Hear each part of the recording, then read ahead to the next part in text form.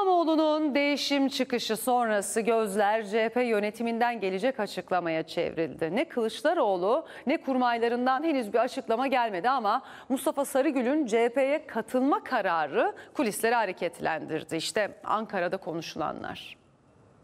Türkiye Değişim Partisi bugün elini taşın altına koymuştur ve Kılıçdaroğlu'nun yanında olmaya, dik durmaya devam edecek.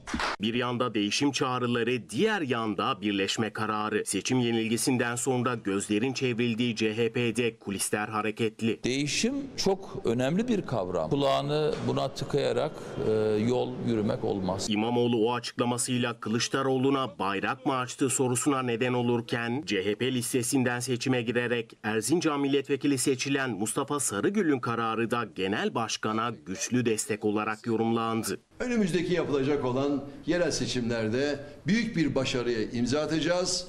Bu başarının mimarı da Sayın Kemal Kılıçdaroğlu. İmamoğlu'nun adaylık ilanı kararını il ilçe kongrelerindeki delege tablosuna göre netleştirmesi bekleniyor. Peki köprülerin tamamen atılması halinde Sarıgül İmamoğlu'nun alternatifi haline gelebilir mi? Birleşme çalışmaları bugün itibariyle başlamıştır. İdeallerim uğruna her hususta e, görev almaktan asla çekinmem, çekinmedim. Şişli Belediye Başkanlığı koltuğunda 3 dönemlik tecrübesi ve Erzincan'da CHP'ye yıllar sonra milletvekilliği kazandırma başarısıyla Sarıgül'ün İstanbul Büyükşehir Belediyesi için de düşünülebileceği konuşuluyor kulislerde.